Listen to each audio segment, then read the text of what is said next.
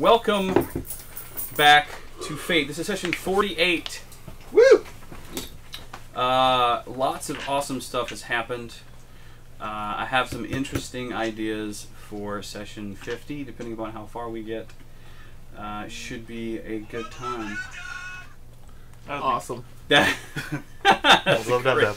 that's a great ringtone. It's really weird because Um, you think it would be brighter it being daytime, but it feels like it's darker in here. Yeah, it does a little bit. I feel like it's darker, but it is still daylight out, which is super awesome. We're starting like three hours earlier than we used to. Uh, this will be a regular thing, at least for the foreseeable future. You never know; uh, things may change. The day may change depending upon how things progress. Uh, we'll keep you updated on that as it happens. Uh, to recap, Recap. Oh wait, a bag. Oh, I need mine too. Thank you for reminding me. Yeah, how are you Uh, gonna screw us over without your die? I don't need dice to screw you guys over. Oh, thanks. Just You my can do- voice alone. He can just make a rolling sound with his phone and say, "Hey, look, you're fucked." Yeah. You don't have to Whoops. the dice. Whoops. Nat twenty. Nat twenty. 20, 20, 20, 20, son of a bitch. Indeed. Uh, Indeed. in the cubbyhole, there's a Dragon Quest bag Oh yes. for my for mine dice. Shit. Oh yeah, I was looking at that last Uh, time. Cool bag. These are Eli's. In the way. These Eli are Elkins or something. For, He's at Warcore. uh, Well, he was Eli He was Rainer. is out Yeah. doing Eli thing. metalhead things in North Carolina. I wouldn't call Warport metal. Whatever. Roar was there. Whatever. Oh, man, metal. Whatever it I'm seeing is, Lamb of it's God in like a neat. week and a Anyway, they have been Slayer having Behemoth. A blast Ooh, a scary blast, so to speak. Uh, first of all, they fought some armies. That was kind of neat.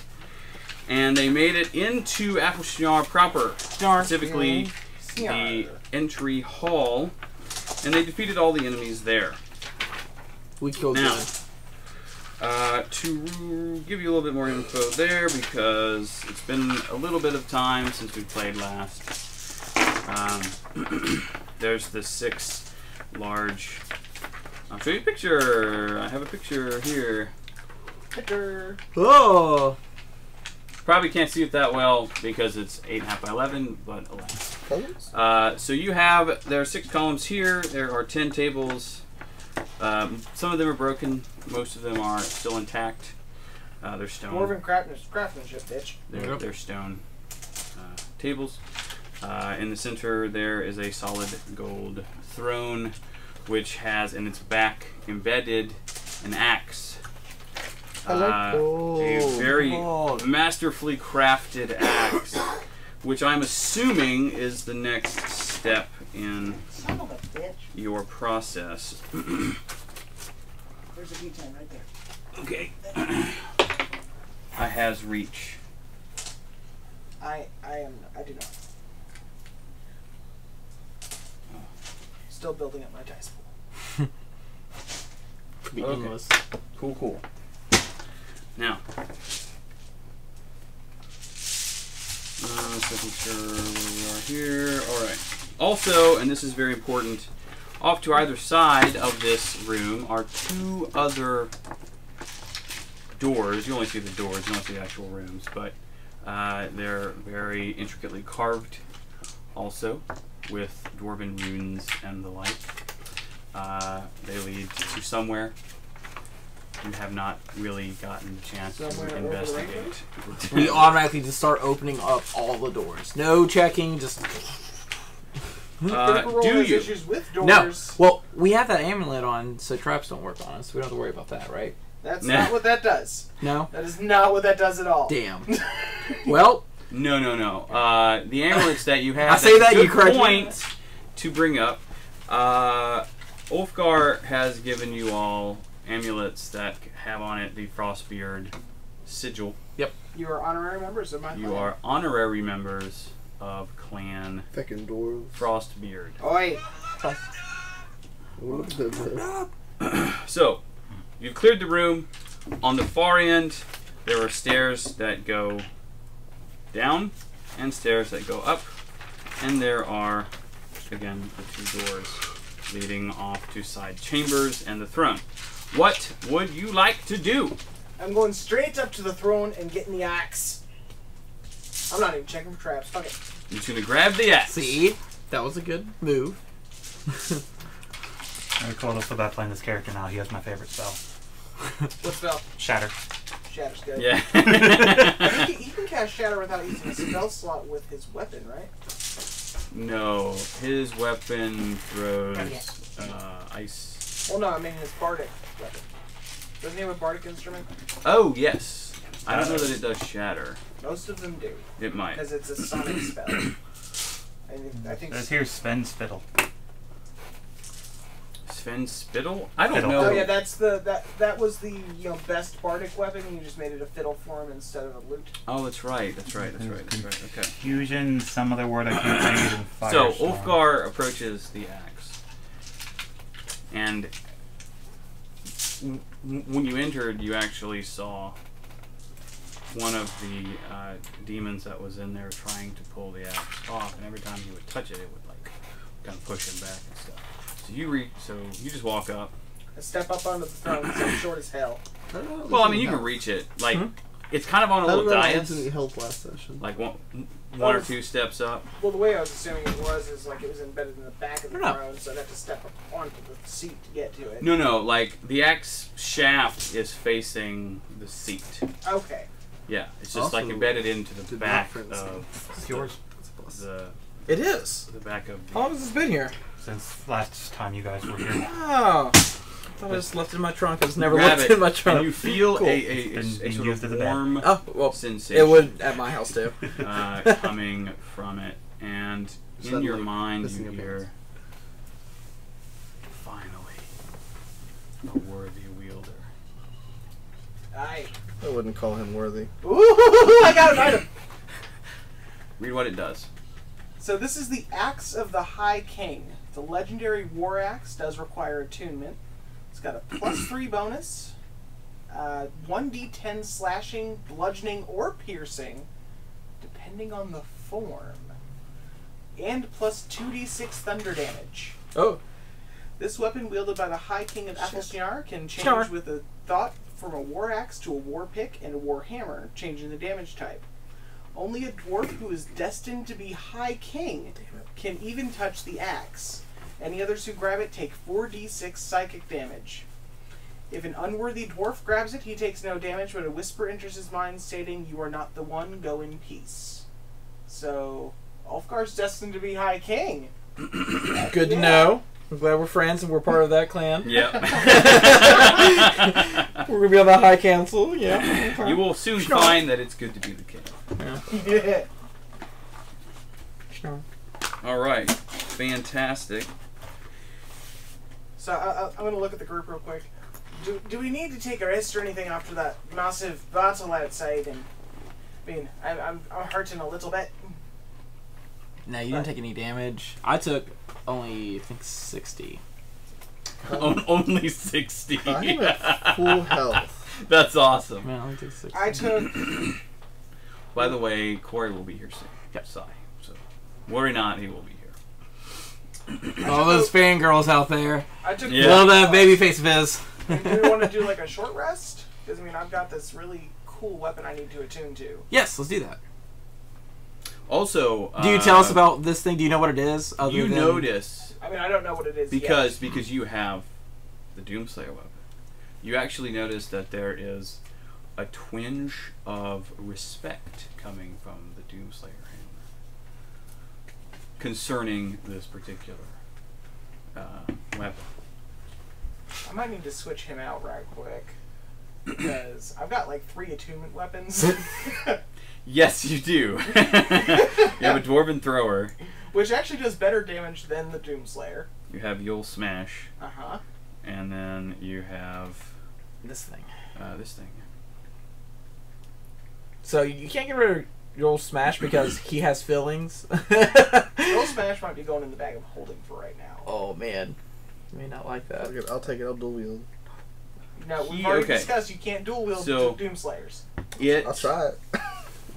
understands, given the circumstances, the need to use the axe, switch to the axe because of the situation. Um, but you'll need to find a wielder for it soon, Yeah. Or it will find one. Itself, yeah, and it might not be somebody we like. Tom, ah, you can use a hammer, right? He's a sniper. Technically. Technically, I mean, Technically, yes, I could. technically I He would. yeah. He, You guys are like, oh, all right. well, it teleports, right? It's a, Yeah. is it it, teleports you. The Oh, weapon. dude. just. I'm just like, huh, boom.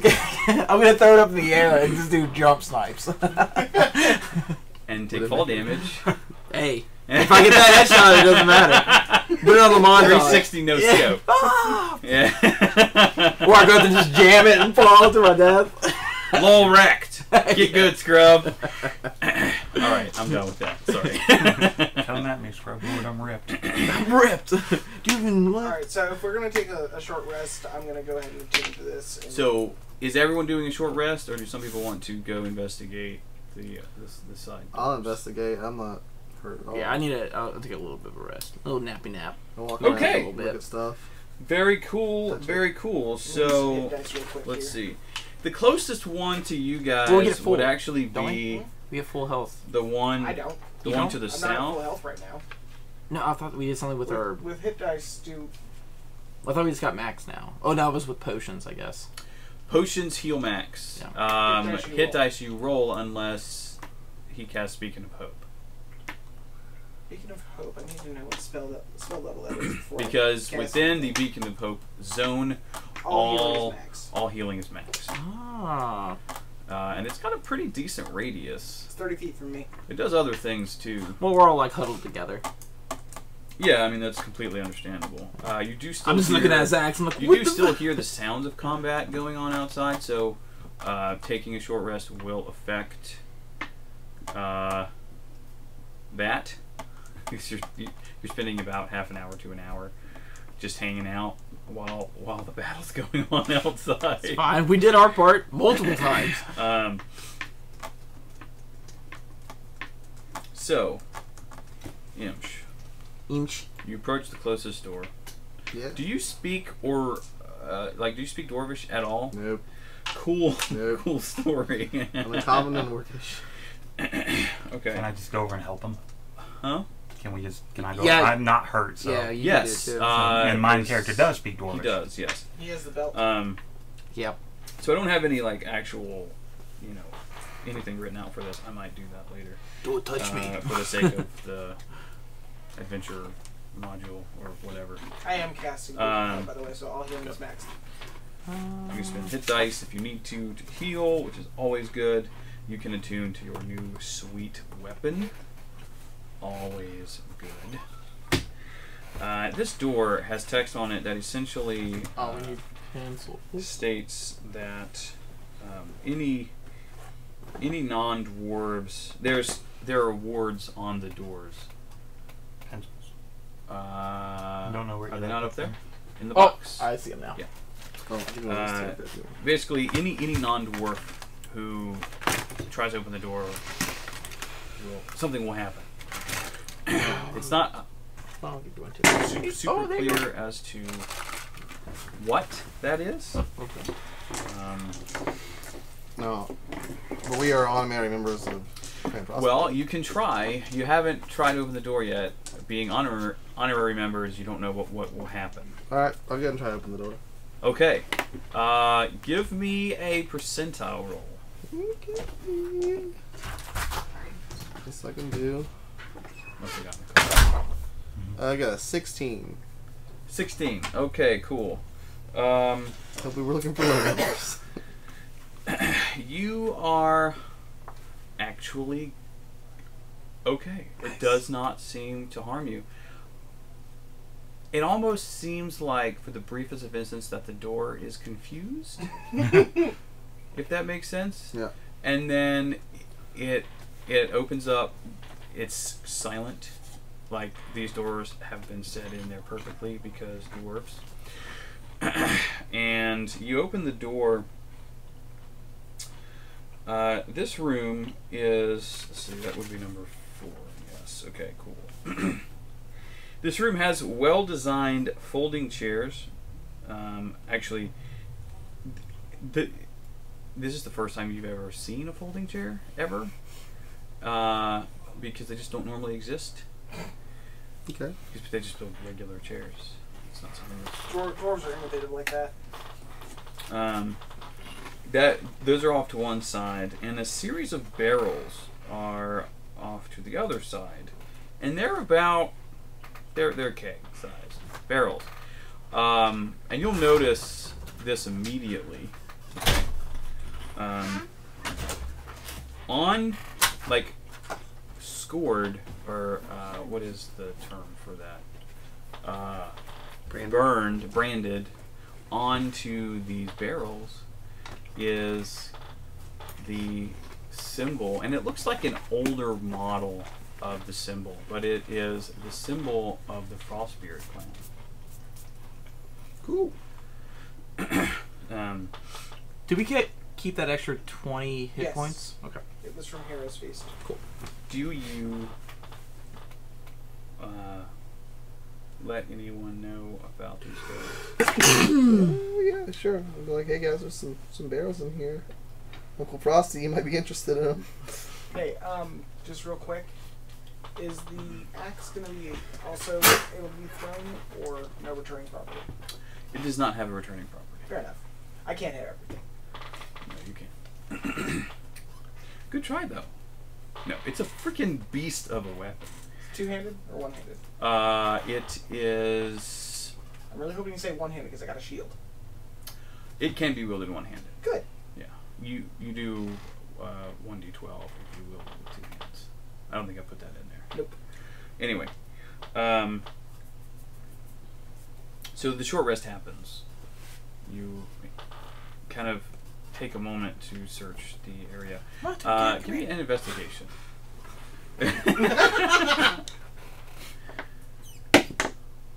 Got 13. Thirteen. Nice. You don't find anything out of the ordinary uh, in here. It just seems like a storage area. Um, would anyone else, either during or after the short rest, want to investigate the room?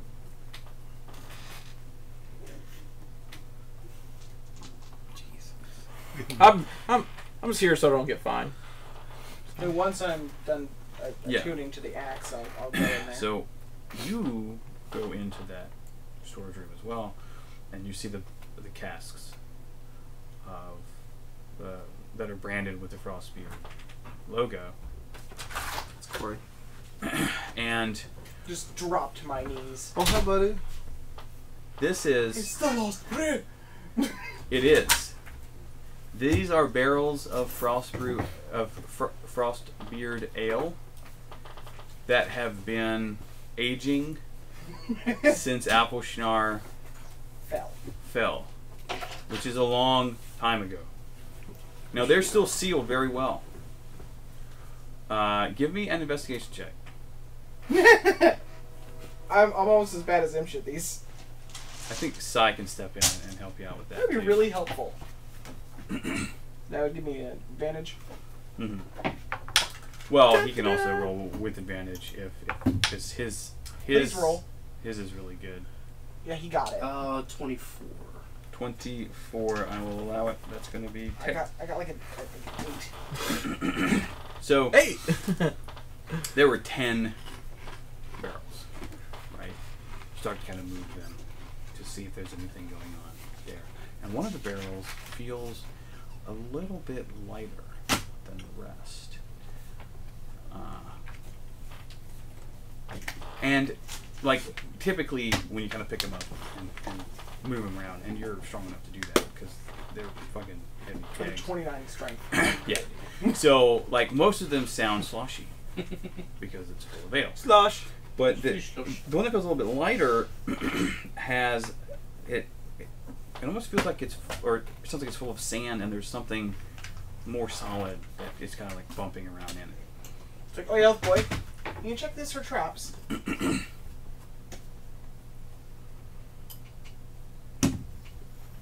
that's that's a bad.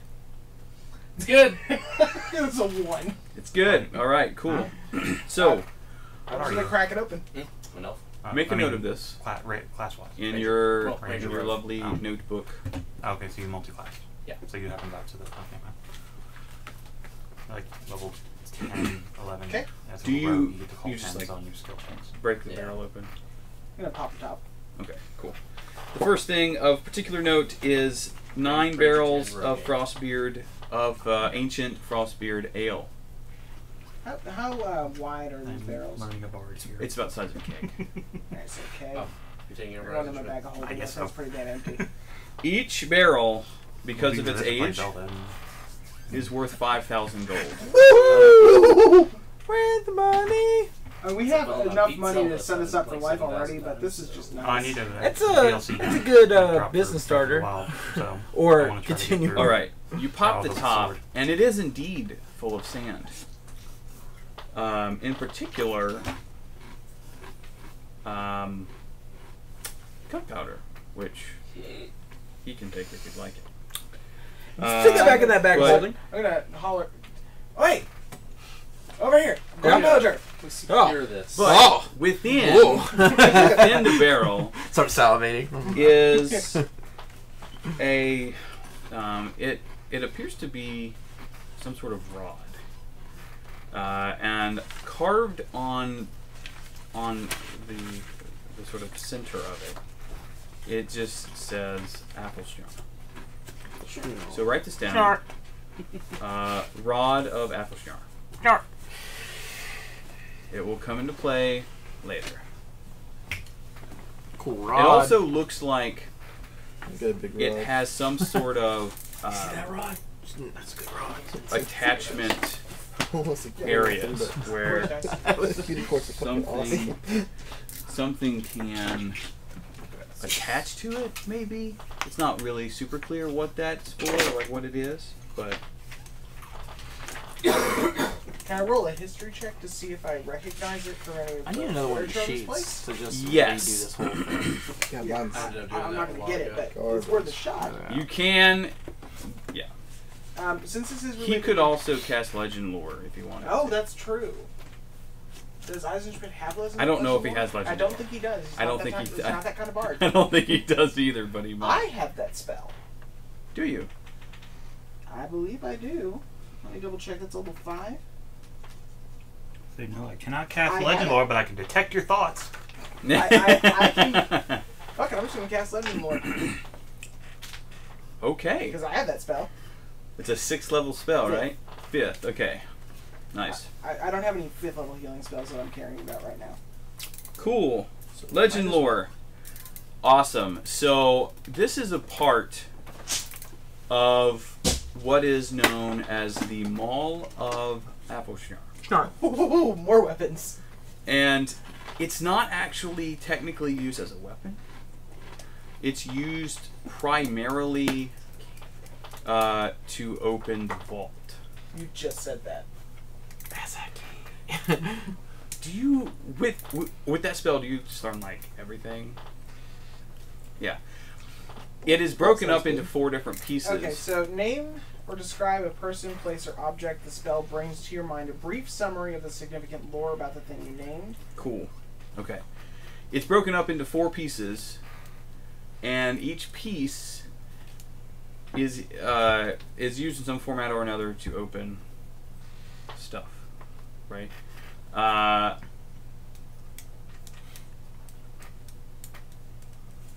there is a hint in the lore that it may have some other purpose and usage, but you don't quite get that. Well, it says the more information you already have about the object, the more precise and detailed the information you receive is. Okay, So yeah, I'm you have you have well that's true, but you also have zero reference Fair enough. for this. Not gonna lie, I heard Mall of whatever the guy's name is. Aflsnjar. That's the name of the kingdom. So I was thinking like, oh, is there a Sephora in here? No, it's big ass hammer. Oh, okay. M A U L. Yes. like what happens when you let a great cat loose and it just. Or a bear. you. Mauled by bear. Yes. Oh, do you need that? I'm finished. Fantastic. That's really the only thing of relevance in this. I'm gonna tap one of these kegs though. I just want to. I want to try some of this ale. Okay. Buzz. Buzz. Twenty five minutes. Buzz. Everybody. I'm actually just using the stop clock. So. Wow. oh, got it. Buzz. We will be. Hang on. Let me- Uh, actually, go ahead. Later.